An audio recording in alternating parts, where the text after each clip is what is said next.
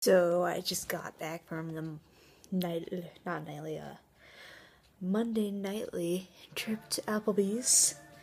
Use the looking for on under the dome on demand, but yeah, at my trip at Applebee's today with Brittany, we saw Andrew.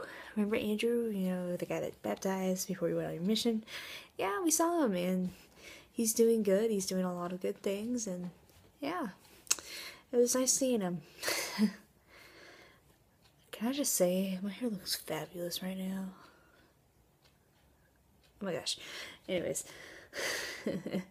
so, yeah, once upon a time, I got mom's oil changed today. And I did a lot of errands. And I got new contacts. Pretty legit stuff.